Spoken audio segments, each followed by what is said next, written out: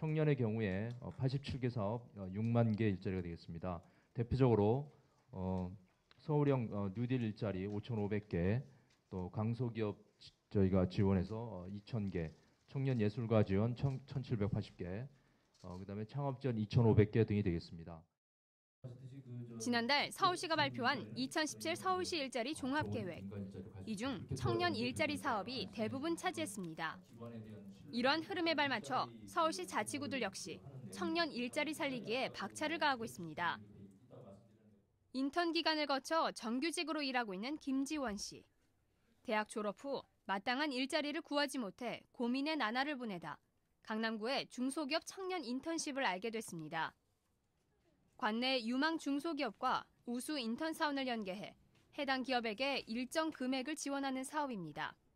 운 좋게도 인턴 연계를 통해서 전공도 맡고 이것저것 상황도 맡게 돼서 인턴을 시작해서 지금 3년 차까지 하고 있는데 좀 만족하면서 다니고 있습니다. 청년 일자리에 본격적으로 팔을 걷어붙인 광진구는 13억의 예산을 들여 TF팀을 꾸렸습니다. 취업을 알선해주는 것에서 한 단계 더 나아가 청년 창업가를 육성하고 자립할 수 있는 기반을 만든다는 계획입니다. 송파구는 청년들이 취업 준비에 있어서 어려움을 겪는 입사 지원서 작성과 면접 준비를 돕기 위한 프로젝트를 실시합니다. 하루 5시간씩 7차례에 걸쳐 집중 컨설팅을 하고 취업 특강과 모의 면접을 진행합니다. 중구의 경우 다음 달 문을 열 예정인 호텔에 구민을 우선 선발하는 업무 협약을 맺기도 했습니다.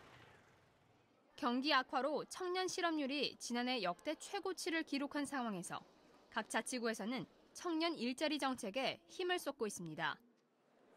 하지만 청년들이 질적으로 더 좋은 환경에서 일을 하려면 안정적인 고용 환경을 위해 기업 지원 정책이 필요하다고 전문가는 조언합니다.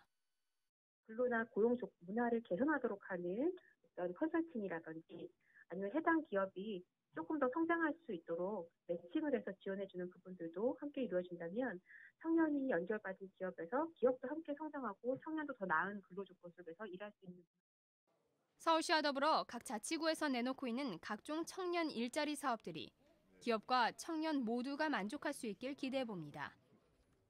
TBS 류밀희입니다.